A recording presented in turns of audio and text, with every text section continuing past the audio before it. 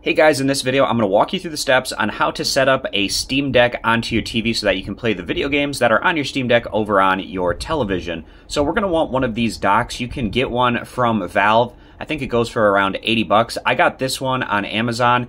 It's not a Valve branded one, but it does basically the same thing and it's significantly less expensive. It was less than like 20 bucks. So if you want, I'll post a link to Amazon down in the description so you can check out some of these that are a little bit cheaper over there and they function pretty well.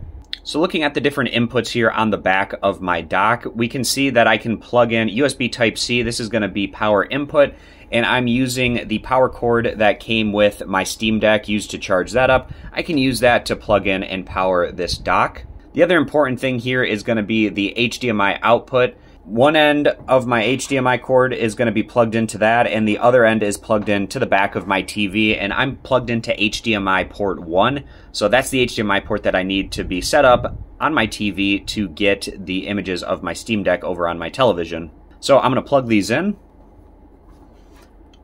First plugging in that power, then plugging in the HDMI.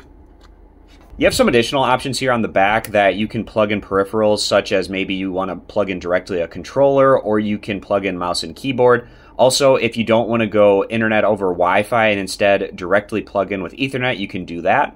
So, with the Steam Deck here in the dock, I'm going to take this power cord here and plug it into the top of the Steam Deck. And this is going to function as a way to keep the Steam Deck powered on and charged up, and also a way for the video output to get over to my television. So now I'm plugged into HDMI 1, so on my smart TV, finding that HDMI 1 input and clicking OK on that. That boots things up here, so now that the screen of my Steam Deck is essentially over onto my television.